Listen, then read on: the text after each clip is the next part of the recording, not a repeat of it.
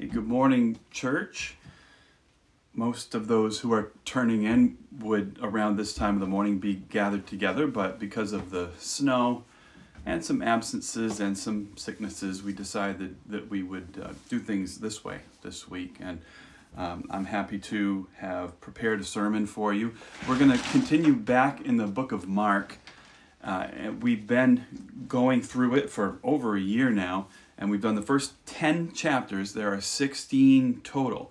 So now, after a brief uh, month or so, taking time to focus on the Advent around Christmas season, uh, and after vacation for me and Heather, I'm now back and looking to finish up the last six chapters of the book. So, worth noting is the pace is going to change, both in how much I try to cover per week and how much of a span of time that this gospel covers. Uh, it's very likely, as we see in chapter 11, Jesus approaching Jerusalem, uh, that he was there for about four months uh, before the events of his crucifixion and, and resurrection and all of that. And the plan is this is just a little bit, bit of housekeeping stuff before the sermon. I'd like to take just three months to finish the remaining six chapters in the book of Mark.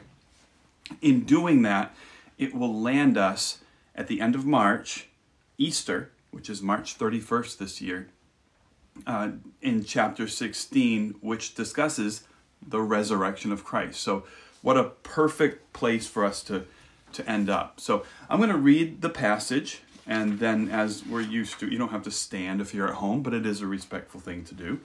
I'm going to be reading Mark 11, 1 through 11, and uh, then we'll ask God to, um, to bless the, the reading and the study of His Word uh, before we continue on and get a little bit deeper into it. So, uh, Mark 11, verses 1 through 11 say, uh, now, when they drew near to Jerusalem, to Bethphage and Bethany at the Mount of Olives, he sent two of his disciples, and he said to them, Go into the village opposite you, and as soon as you've entered it, you will find a colt tied, on which no one has sat.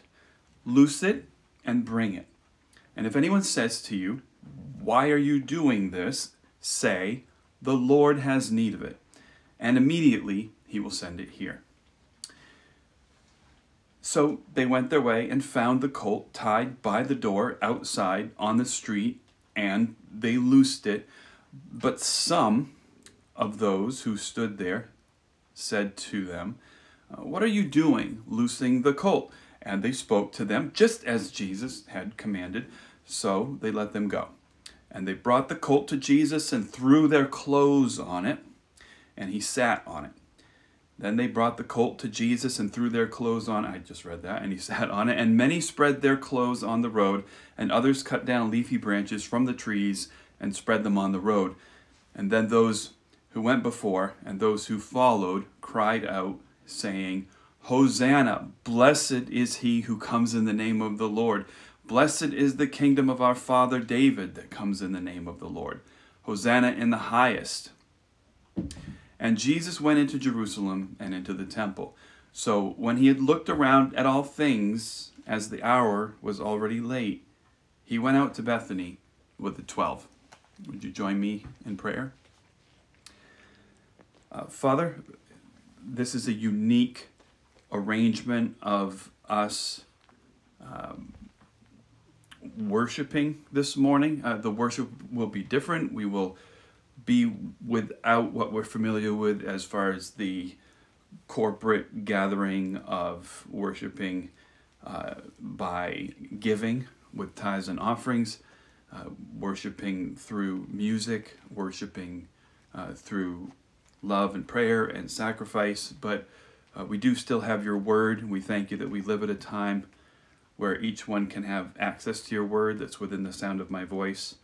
Uh, thank you that even though we're not physically present, that we can be united in our deference to your sovereignty. So I pray that we would show that in actual, effectively real ways this morning as we don't look to read into the text, but we look to get out of it what you would uh, have impressed upon us, and that you would be glorified as a result, and that our lives would be fruitful and a blessing to you in how we consider it and in how we respond to it. Thank you for forgiving us for our sins and for revealing uh, what you have revealed to us, uh, which you were under no obligation to do. I pray that you would bless the consideration of your word today. In Jesus' name, amen.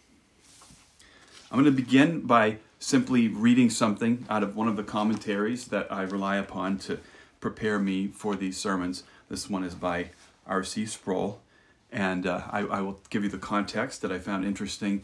I was considering uh, what might be a sensible segue to take us from where we've been in the last month, which is uh, in consideration of the advent of Jesus, and now as uh, we enter the last six chapters of the book of Mark. So the first paragraph uh, or two of this commentary says traditionally during the Christmas season, many churches celebrate the advent, the coming of Jesus to this world as a baby uh, born to be a king. And that is why angelic greetings came from on high, heralding the birth of a child who was the Savior. This is referenced from Luke 2.11, and we were there for at least two weeks during that Advent series.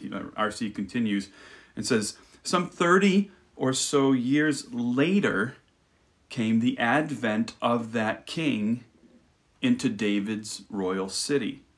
As Mark describes in this passage, we discover here a connection between Jesus' advent into the world to fulfill the kingly prophecies of the Christ child and his advent uh, into Jerusalem.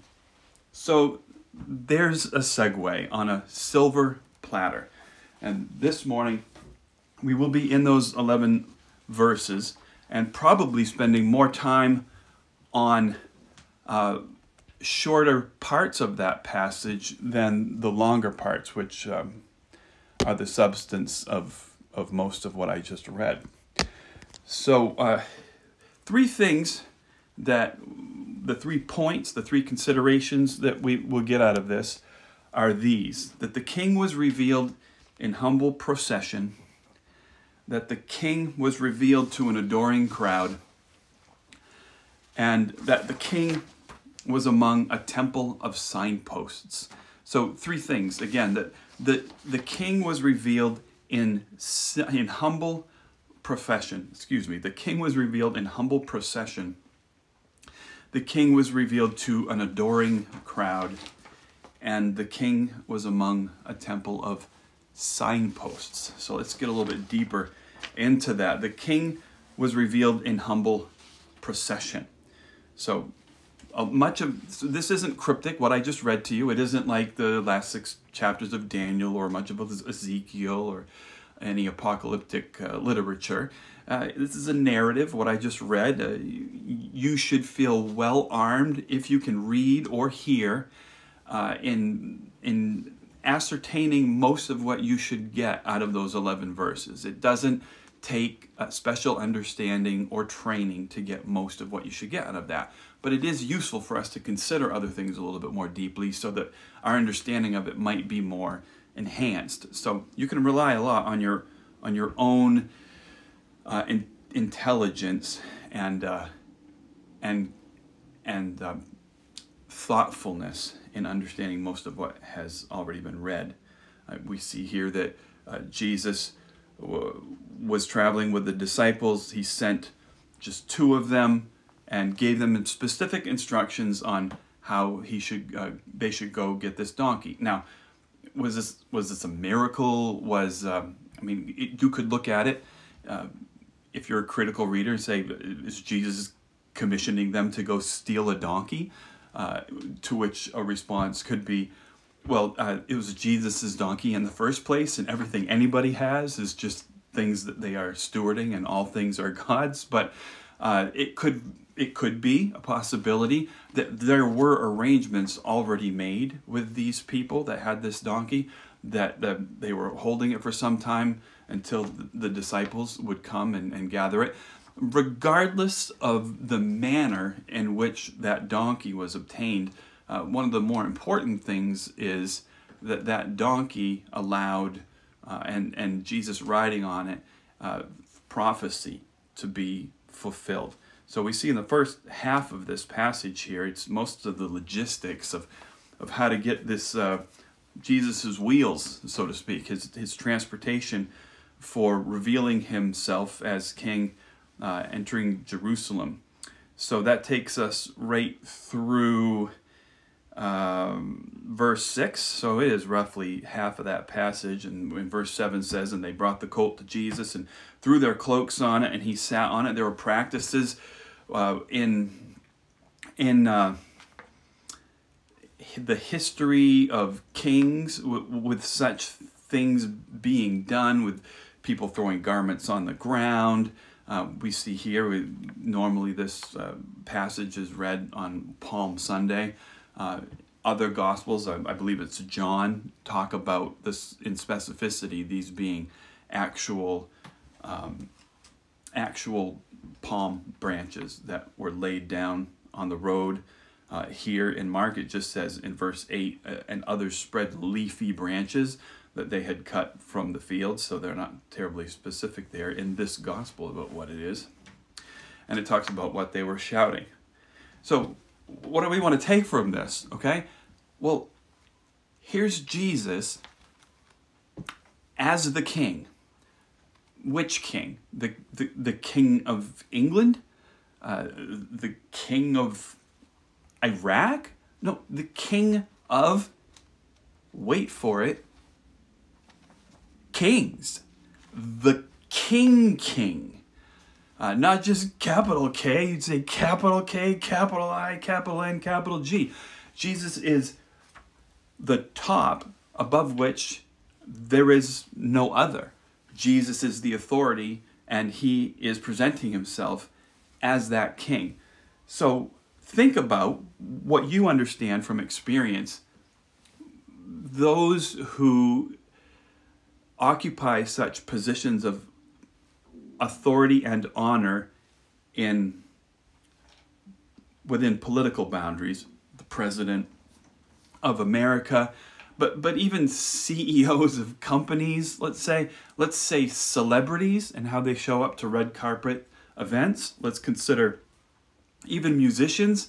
If you ever come out uh, to a rock concert or any genre of music, uh, there's a big deal made.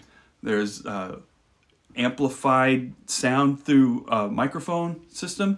There's sometimes smoke machines and uh, I don't know if I've ever mentioned to you that I'm a Celtics fan, and when the players are marched out at the beginning of the game, uh, the announcer doesn't just say, "Oh, so here's the guys: Jayson Tatum, Jaylen Brown, Derrick White."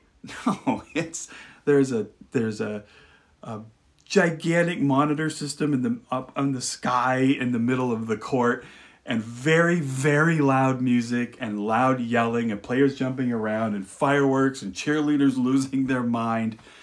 That is what we're used to in this world. But when we zig, Jesus zags.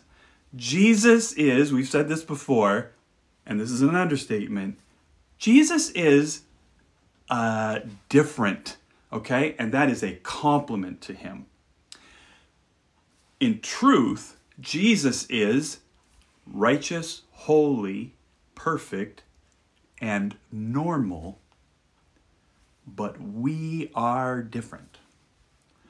All of what we are familiar with in our heart and of the ways that things work in this world, what has become normative in our experience, is quite ridiculous. Jesus is a humble servant. The God of all might and power and knowledge condescended to come to this ridiculous system that we have and serve us. And he does it his way. He doesn't adopt a quote unquote when in Rome philosophy to be like the people that he's around. Now, certainly, God took on flesh, but Jesus came to usher in a new kingdom, a different kingdom, a right kingdom to occupy in the midst of the ridiculousness that we're used to and to change human history. When the rest of the world zigs, Jesus zags.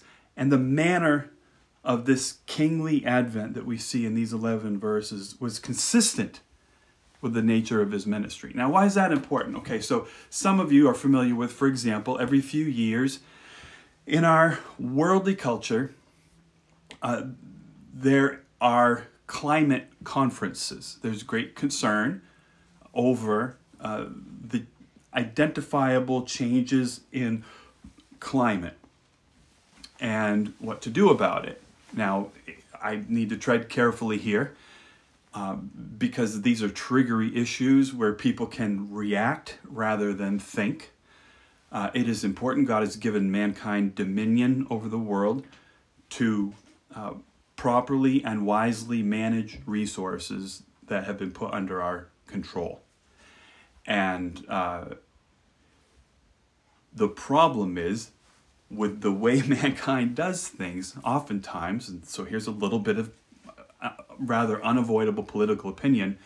There's a lot of bit of posturing and virtue signaling that take place within governments to proclaim intentions to do certain things to reach certain healthy ends uh, as far as responding to uh, perceived or real environmental crises when in fact the can just keeps getting kicked down the road.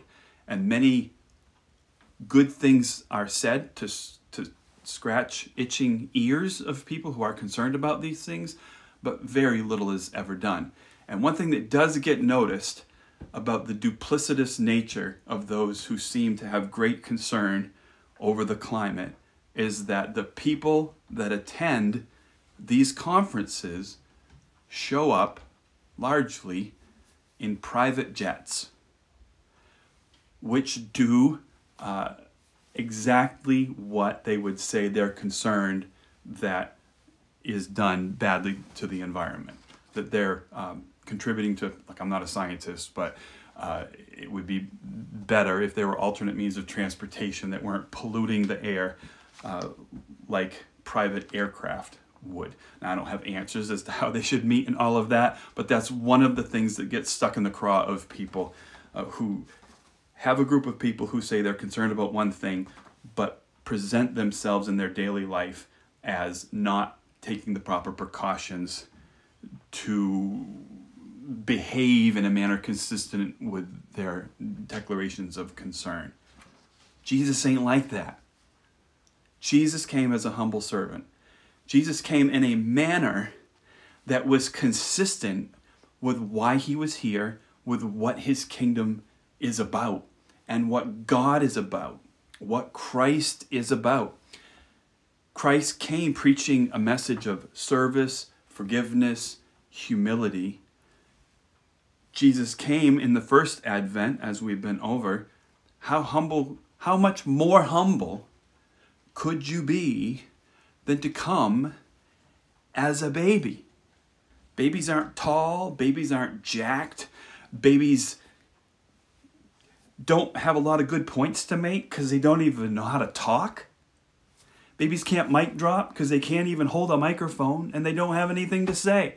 He came in humble means in the first advent. He grew up, and roughly 30 years later, here he, he is presenting himself as something he's restrained to do thus far, right? You remember how many times Jesus has done miracles, and he's like, boop, boop, boop, keep this between us, okay? The time is not now.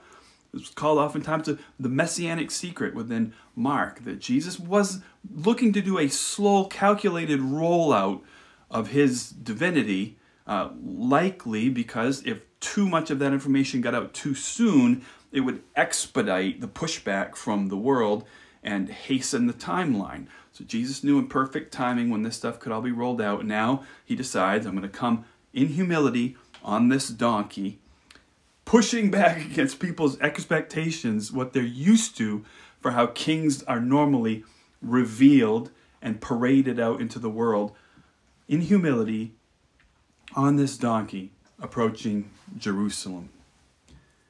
As I said, it was an answer to, it was a fulfillment of prophecy uh, in the Old Testament.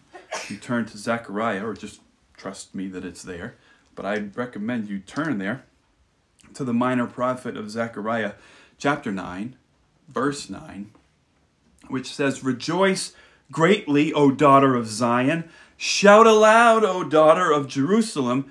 Behold, your king is coming to you. Righteous and having salvation is he, humble and mounted on a donkey, on a colt, the foal of a donkey. There you go. Jesus, uh, as the king, was revealed in humble procession. And Jesus, as the king, was revealed to an adoring crowd.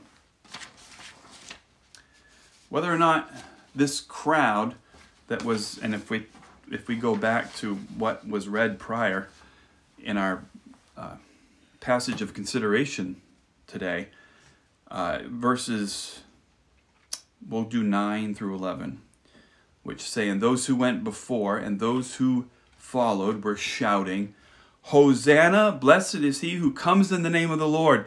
Blessed is the coming kingdom of our father David. Hosanna in the highest.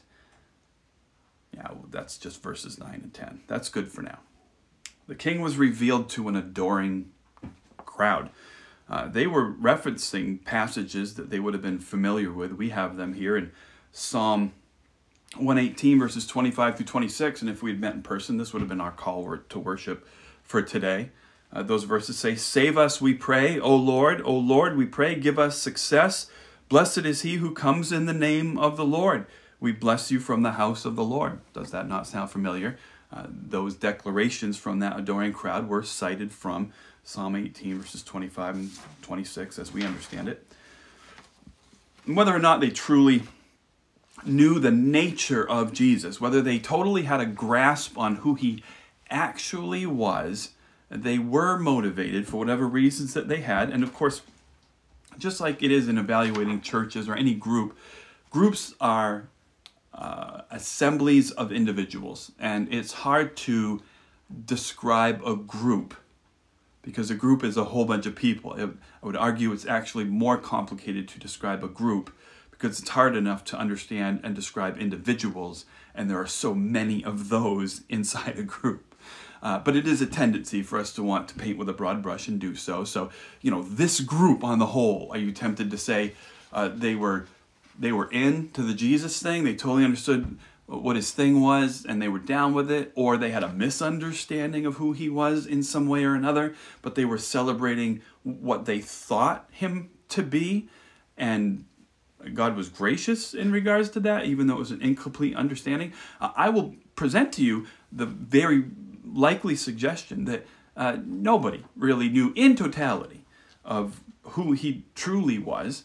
Uh, I would argue with you that you currently don't now. I mean, that there is a degree to which I, as your pastor, and you have whatever understanding you have of Jesus right now, which is sufficient, okay, but growing. We, we know from, um, from Scripture Oh, we do, we do.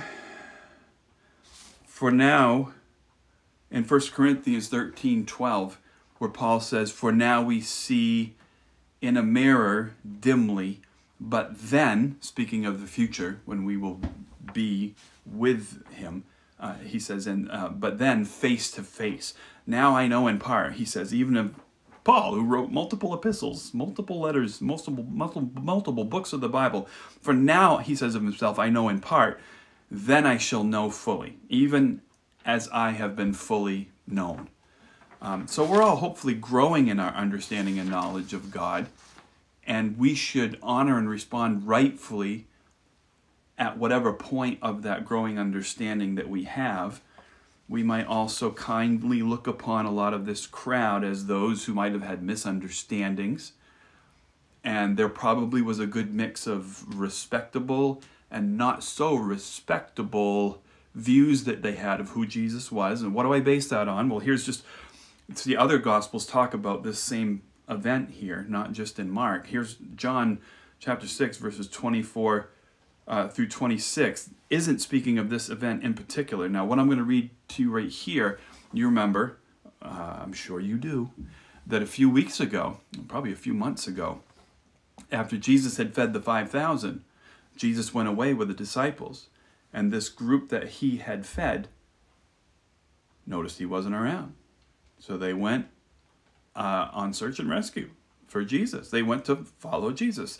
So here's what John says about that event. So when the crowd saw that Jesus was not there, nor his disciples, they themselves got into the boats and went to Capernaum, seeking Jesus.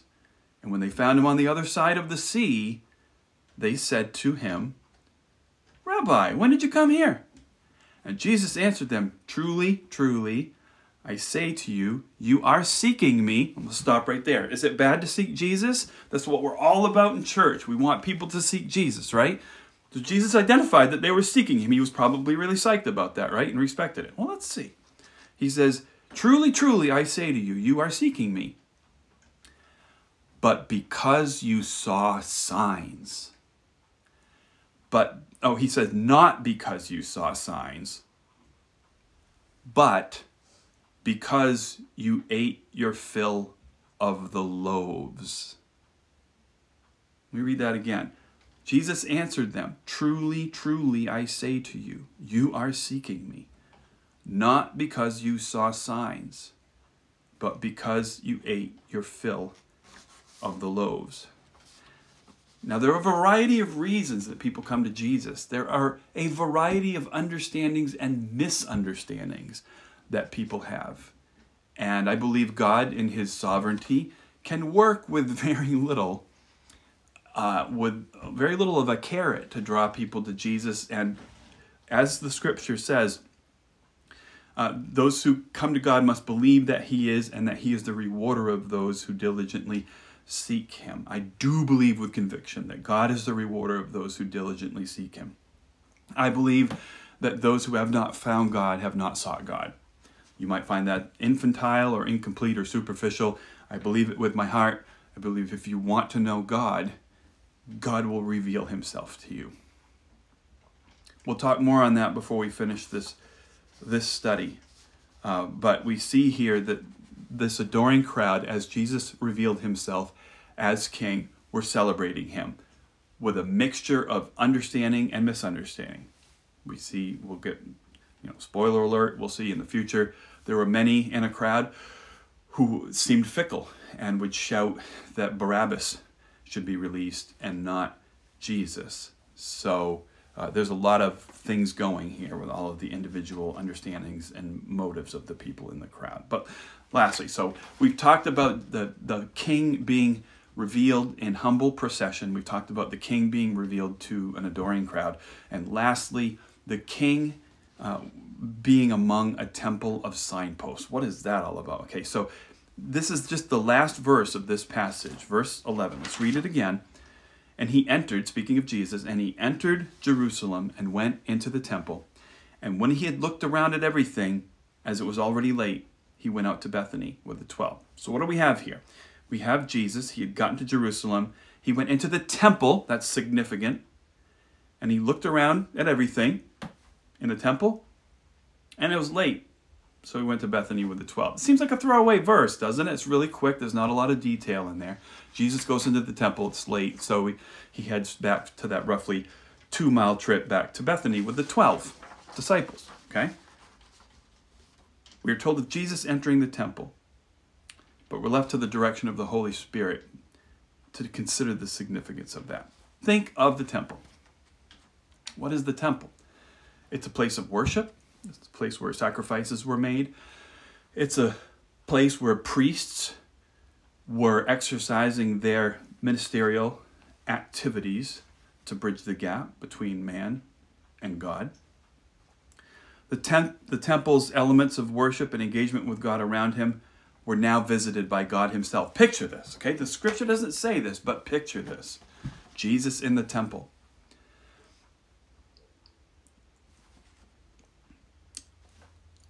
All of the elements of worship around him.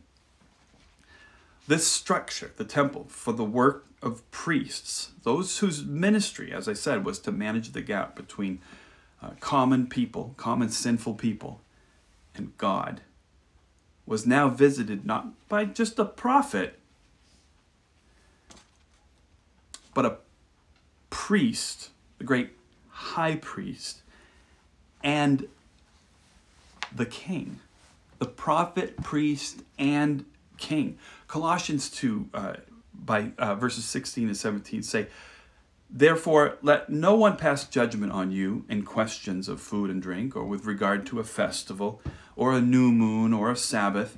These are a shadow of the things to come. But the substance belongs to Christ. Why do I bring this up? Because Paul there is speaking of different practices uh, that the church was used to understanding when they um, weren't part of the church, but uh, the baggage that came from Judaism and the exalted position that certain activities would have, certain practices, which had value in their lives. But basically, Paul is making the distinction that all of these practices were just shadows. They, they weren't where it's at. Where it's at was the Messiah, was Jesus, was the ministry of God in their lives. And all of these things were useful in as much as they brought people to that. We can find a, a fairly responsible analogy in what we've been talking about in Sunday school. For those of us who have been through the group um, study of uh, the John Ortberg book, the, the Life You've Always Wanted, which is a book about spiritual disciplines. And, and John Ortberg's position, which I fully agree with, is all of these different uh, disciplines that we go through, through abstinence or engagement, the things we do or don't do, such as prayer, Bible reading, uh, Sabbath, so many other ones. It's easy for us to make much of any one of those things as an end in itself. And it's very common, somewhat well intentioned for people in churches to say, I got to read my Bible this morning. Have you read your Bible? And it's great to read your Bible. But there are ways we know from even the Pharisees knowing God's word, which it didn't it didn't make them more godly, it made them more self-righteous. The goal, John Ortberg says, in these spiritual disciplines is that each of them work, should work towards an end of us growing in our love of God and growing in our love of people. And all of these practices that Paul speaks of here in Colossians, of um, concerns about food and drink and festivals and the honoring of certain days, all of these practices from the elements of the temple, all the sacrifices, and all of this stuff, they weren't ends in themselves. The substance of all of that was Jesus and the work of God in redeeming mankind. And here he is in that temple. Picture Jesus as the conductor of a divine orchestra, standing in the midst of temple symbols like musical instruments orchestrating a symphony of fulfillment where each note resonates with the harmonious truth of his ministry. Jesus there was the conductor of an orchestra where all of these instruments were merely instruments, and he was and is, in fact, the song. He is the substance of all of that. So, very meaningful that he was there in the temple, and you wonder what might have gone through his mind as he was just looking around, understanding that time was drawing nigh when the fulfillment of many things would take place in his torture, in his alienation from God, in his crucifixion, in his resurrection, and in his, in his in his ascension. Uh, the clock was ticking. Mm. So much of this is connected. 66 book in the books in the Bible, and uh, they're all part of the same story. Many different authors over many different times through many different cultures. It's all connected. We went through Daniel. Some stuff in there that was hard to understand. Daniel even had a hard time understanding it. Daniel 7, whew, that was a good one. There was some really good, understandable places in Daniel 7. And we've been back here a few times because Daniel speaks at that time, generations and generations ago, of a forthcoming kingdom. He says in Daniel 7, verses 13 and 14, I saw in the night visions, and behold, with the clouds of heaven there came one like a son of man. Ding! And he came to the Ancient of Days and was presented before him. And to him was given dominion and glory and a kingdom that all peoples, nations, and languages should serve him. His dominion is an everlasting dominion, which shall not pass away, and his kingdom one that shall not be destroyed. It won't expire. Uh, and so that's significant. Okay, so the, for the people that knew Daniel and were waiting for generations and generations for this, big deal that Jesus comes in here on a donkey, presenting himself as king, zagging when other worldly powers zig, doing the things how he does them, being consistent with the intentions of his ministry, walking into the temple as the substance of all of these things that were pointing toward him for generations. The, symbolism, the, the meaningfulness is, is hard to miss.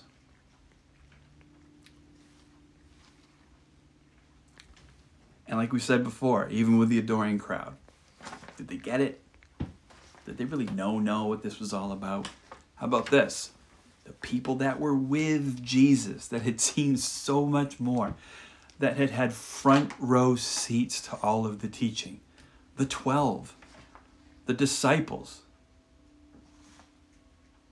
John 12, verses 16 through 17, the Gospel of John says, His disciples, this is in John's retelling of, of this event, of this um, triumphal entry.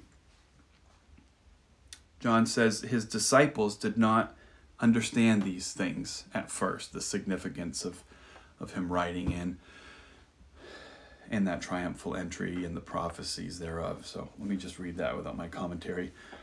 It says his disciples did not understand these things at first, but when Jesus was glorified, then they remembered that these things had been written about him and had been done to him. Uh, the crowd that had been with him when he called Lazarus out of the tomb and raised him from the dead continued to bear witness. So there were some people there in that adoring crowd that had heard about or seen the miracle with Lazarus. There were some who got their tummies filled and had followed Jesus because um, um, uh, he he good cook. He could just make stuff on command and prepare it for them. There were a variety of things that brought people to Jesus, the disciples themselves who followed him around and had front row seats. It took a minute for them to figure things out. Didn't quite understand it all at once. We, we've been through this, right? You ever been your, when you're in your mid 20s and you look at your parents or older generations and man, you've got everything figured out, or when you're in your late teens you don't even know what you don't know. And then at some point, whether you go through certain experiences later in life, things click a little bit more. And sometimes you think back upon your younger life and you might even say out loud, What a fool I was. What a fool. And Jesus even called his disciples fools sometimes. How foolish generation. Like, you it took a while for people to get things. It takes a while for us to get things. We can know what we know, but not know it all. So, in conclusion, think of this. What was your onboarding to Jesus? And I'm assuming that I'm speaking to people who have been what I call onboarded. Uh, it may be that you are still on the outside of the kingdom of God, and that's a separate discussion. I think mostly I'm speaking to people who have at one point uh, done the thing where they quote unquote invite Jesus into their heart. Um, that isn't a principle that's specifically mentioned in Scripture. It's a church culture thing to help us identify a point in time when we first decided uh, to um, assent to the things of God or, or intend to begin to try to follow God. Uh, and it's a different experience for different people. Some people have a moment and everything changed. Some people have a moment and like me, my testimony is a uh, it's more of a gradient than it is a quick grinding of the gears and immediate change. Uh, some people come to Jesus because uh, uh, coming to Jesus meant coming to church and maybe even coming to church for a while. They didn't really know who Jesus was, but they got a little bit closer to people of God and heard a little bit more of Scripture from being there. Maybe months or years later, uh, something clicked inside them. They gained a great enough understanding of who Jesus was uh, for them to begin a relationship with Him. Some people are simply if they believe in hell they're afraid of hell and they onboard that way. Uh, some people believe, um, and rightly so, that Jesus will give them peace, uh, help them to not worry about things that would otherwise occupy their, their mind and their emotions. It's a variety of reasons that people come to Jesus. Some people come because uh, they're attracted to somebody who's uh, who's a Christian, and they think, well, fake it till I make it uh, in order to find this um, boy or girl's heart, and uh, either they find him or they don't. But there's a variety of reasons, and, and if you're sincere, then God, I believe, meets you where you are. Um, but do we know the King that we celebrate? We think of that adoring crowd. Do you know the King that you celebrate? I would challenge you to consider that you do and you don't. That we all, as Paul did mention, what we read already in 1 Corinthians chapter 13, verse 12. For we now see in a mirror dimly, but then face to face. And now I know in part, and then I shall know fully, even as I have been fully known. Marriage example, which even if you're not married, I think perhaps you can understand just from friendships or family relationships that, that you have or had. Uh, I've been married, I think, so I, so long I don't know exactly the number. It's 27 or 28 years. I think 27. And uh, it's funny. We keep thinking about how my wife and I stood up in front of a pastor and, you know, I said, you want to do this basically, uh, whether or not you have a lot of money or you don't or whether uh, she or he is sick. Or, like when it gets hard, like you, you all down with this? And we were like, yeah, yeah, yeah, yeah, that sounds good. Yeah, yeah, mm-hmm, yeah. Oh yeah, I do, I do. We had no clue. We had no. We just knew that when we were around each other, our hearts fluttered, and we didn't at that point ever want to not be around each other. And throughout those almost three decades, uh, we've seen more of each other more more deeply. And we've still decided every day i'm still in i'm still in. But we know in a lot of ways a different person that we're married to now than we did almost three decades ago but we knew enough to knew that know that we wanted to have that relationship same same with jesus i accepted the lord when i was seven my doctrine was not strong back then my knowledge of Jesus was not strong. It was Sunday school acceptable. That's where I was. And I celebrated him as the king that he was then. And likely, I hope that you still do now as you've grown in your understanding of Christ and not just trivial knowledge, but you've walked with him through valleys. You've walked with him through grateful joy over the things that he's provided for you or delivered you from. You have a different relationship with that Christ now than when he first marched into your life and you celebrate him still. I want to encourage you that Christ that came in his advent as a baby, that he came uh, generations ago in advent uh, as a king into Jerusalem, uh, still is marching into your heart.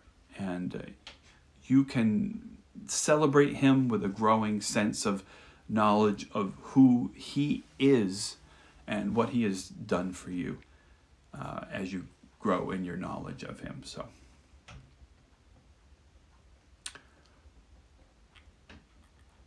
It's customary for us to pray after a sermon. Let's do that. Father, thank you for recording these events. It's really easy to take for granted that this significant significant event was recorded uh, for our consideration because it's useful to us. When I think of it myself, uh, it's it's attractive, particularly when I consider the contrast of what I'm used to, the sickening. Um, self exalting manner in which people are paraded in front of other people. Certainly, we know. We have been told also that there will come a day when Jesus comes in great power in his second coming. But to come humbly, as he did as a servant, to give his um, his body up for punishment, his relationships up for betrayal, his community, his unity with God to be interrupted as he bore our sin um, was necessary. And I pray that you would help us to appreciate that and to celebrate him for that with our thoughts and behavior. We thank you for the opportunity to ask these things of you in confidence that they will be done, because certainly we understand they would be in your will. We pray this in Jesus' name. Amen.